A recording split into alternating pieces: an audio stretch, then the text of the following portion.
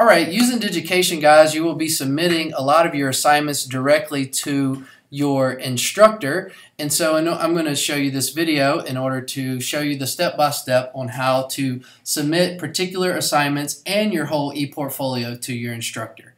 First, you would like to go to the section in which you are enrolled. In this case, we're using Spanish 1060 Section 5. You will select the Digication e-portfolio in order to access the splash page. From the splash page, you will select your ePortfolio that appears at the top. So from here, I would like to submit a particular activity to my instructor. So in order to do that, in the top right of the screen, you select Portfolio Tools. The drop-down menu shows various selections. Select Submit.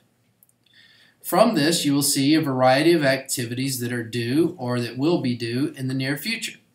Select the activity that you would like to submit. It opens the particular page that you have selected and simply select Submit.